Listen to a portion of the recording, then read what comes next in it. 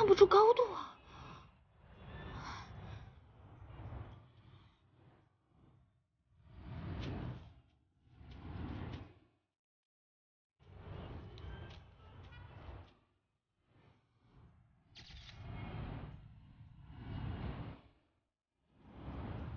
爷爷，我一直以为您是最爱我、最了解我的人，但这次我对您太失望了。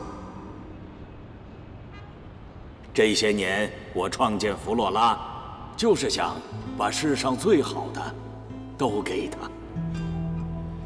算了，爷爷对我这么好，看到这个非气疯不可，还是再跟他好好谈谈吧。哎，别跳啊！啊，呃，没没没没有。喂，是保安师吗？没有要跳，你看，有人要跳楼哎！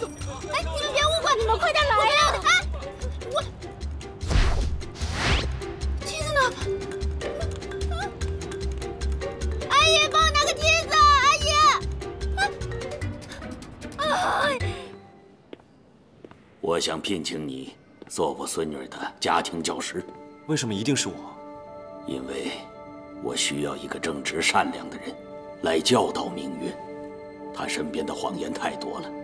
我知道你当过兵，担任过消防班长，一个经历过生死的人，才能够客观公正的看待这个世界，才不会被世俗的权利、金钱和地位所绑架。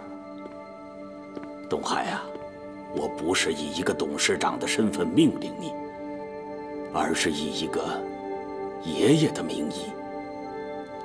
恳求你！喂，幺幺九，这里是弗罗拉集团，有人在天台要跳楼。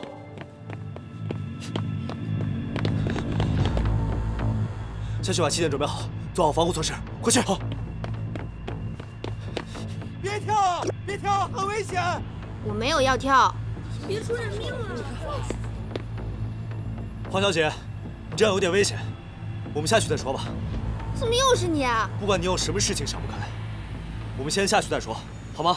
谁想不开了？你以为你是谁？动不动就教训我？好，我现在不教训你，我只是有些事情想要提醒你一下。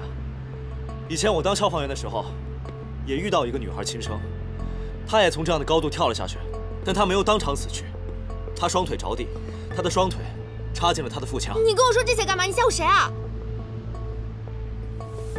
我不是吓唬你。我只是告诉你，你跳下去的结果会是什么样的。就算你没有死的话，你的下半辈子也会在床上度过。就算你不考虑自己，你也想想你的爷爷吧。你想他白发人送黑发人吗？什么白发人送黑发人？你咒谁呀你？我什么时候说我要跳了？我就上来看看风景。我。